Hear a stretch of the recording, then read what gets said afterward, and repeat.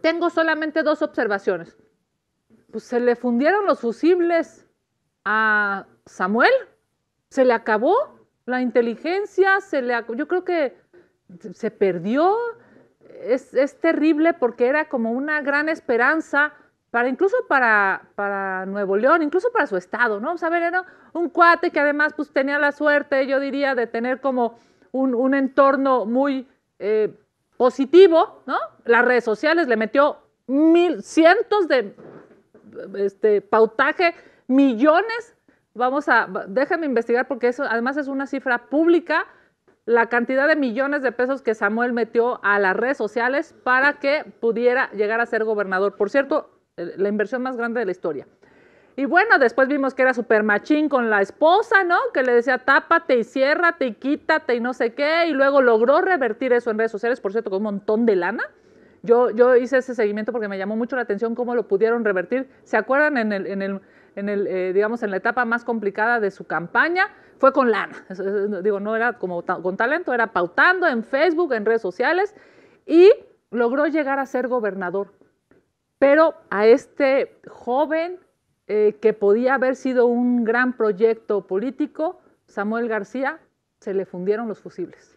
Yo creo que tanto poder, tanto dinero, tantos excesos, pues lo hizo hoy tomar pésimas decisiones. Y a mí de verdad es que me preocupa, pues, Movimiento Ciudadano, ¿qué? O sea, ¿cuál, fue, ¿cuál va a ser su decisión histórica? Yo lo pienso para aquí, para la Ciudad de México dependiendo de qué encuesta estemos hablando, pero ¿cuántos puntos, este, Margarita Jorge, creen que traiga Movimiento Ciudadano aquí en la Ciudad de México? A duras penas araña el registro. De hecho, eh, pudieron conservar su registro como partido a nivel local por 0.5%. Es decir, no aportan mucho, eh, eh, pero bueno, pues siempre es importante que la oposición o los que se dicen oposición estén consolidados, ¿no? Y estén en un mismo, en un mismo frente, ¿no? A pesar de que, de que aporten poca votación. Tres puntos, o sea, sacaron 3.5% en la última elección. Sí, ahora, y, y 3.5. O sea, vamos a ser géneros cuatro. Vamos a pensar que hoy tiene cuatro puntos porcentuales. Tú que hayan crecido aquí a cinco, tampoco te hacen diferencia de nada. Nada, o sea, es nada. En este mundo, aquí nos dice Carlos Alarraqui que traen seis. En este mundo polarizado, o sea, en este mundo de o el populismo de Morena o no, no está ayudando Movimiento Ciudadano, no está ayudando, no está ayudando a construir un mejor México, una mejor Ciudad de México, un mejor país. ¿Qué no se dan cuenta, señores de Movimiento Ciudadano, que le están ayudando al gobierno? O lo están haciendo por dinero o lo están haciendo por mezquindad, pero están dañando a las y los mexicanos. Ver ahora que Samuel García es el candidato favorito de López Obrador es una vergüenza histórica, como Kumamoto. Bueno, usted se acuerda, yo me acuerdo que veía a Kumamoto y decía, puta, qué chido. Miren que yo soy de partido, llevo 25 años en un partido, ¿no? O sea, soy una mujer de partido totalmente, este, toda mi vida la he construido en el partido. Pero yo veía a Kumamoto y decía, qué chido, está, fregón. Sí, sí hay, o sea, sí tiene que haber alguien que diga, en un sistema de partidos, los partidos probablemente no funcionen y él será Kumamoto. Pues ahora se fue a Morena. Le dicen traidor.